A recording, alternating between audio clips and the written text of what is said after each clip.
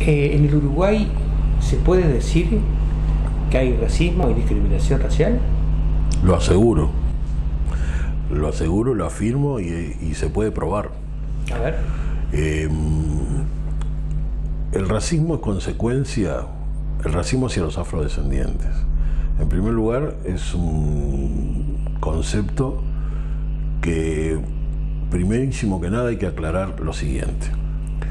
Nosotros defendemos y ya estábamos convencidos y después cuando científicamente se demostró en base primero al descubrimiento de Lucy después desde el punto de vista de, lo genético y demás, o sea, ya nosotros planteábamos, siempre planteamos de que raza hay una sola. Entonces vos me podés preguntar, bueno, entonces ¿por qué hablan de racismo? Y porque el sistema es racista.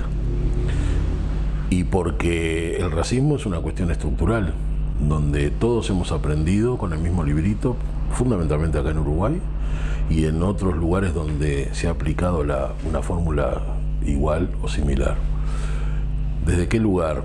Y desde el lugar de ir construyendo eh, una cultura, una cultura con valores, desde una visión absolutamente eurocéntrica, donde nos fueron enseñando a todos, a todos las víctimas y al resto de la sociedad, eh, cuál era el statu quo. También cómo y, por ejemplo, con cosas muy concretas aplicadas acá en el Uruguay. Eh, cuando comienza todo el, proceso abolicionista en el Uruguay, que tiene dos de los puntos más altos para la historia este, en los años 40, tanto en, el año 42, cuando, cuando Rivera este, decreta la abolición de la esclavitud, la ley 242, este, resulta que los liberados eran los hombres, los aptos para ir al ejército. Estábamos en plena guerra grande, ¿verdad? Eh, las mujeres, los niños, los minusválidos, los viejos, viejas, todos es como pupilos. O sea, un eufemismo, seguían siendo lo mismo. Los hombres, dije, para el ejército. Oribe, en el 46, libera a todo el mundo. Queda abolida la esclavitud en el país, pero dos meses después manda a reclutar a todos los negros que hubiera, a libertos, ex esclavos, a todos.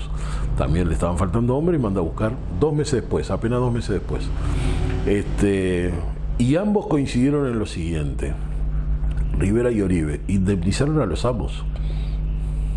Eran cosas, esas personas, y todo el sistema esclavista aplicado a los, a los africanos y sus descendientes este, transformó en cosas a las personas, a diferencia de otras esclavitudes, de otros sistemas esclavistas que los hubo en todo el planeta y en todas las civilizaciones. Hubieron civilizaciones africanas también esclavistas, todas utilizaron el sistema, pero ninguna como esta cosificó a las personas. Eso es otra cuestión que hay que tener sumamente en cuenta, al punto de que las personas perdieron su nombre, perdieron, pues no lo podían utilizar, perdieron su idioma porque no se lo dejaron utilizar, eh, los marcaban como el ganado, o sea, como propiedades, este, eh, no podían eh, elegir qué, hacer y ni siquiera el nombre de sus hijos, por lo menos desde el punto de vista visual, que, que, la sociedad lo conociera. Tenía que... El amo le ponía el nombre. Exactamente. O le permitía poner algún nombre que fuera cristiano.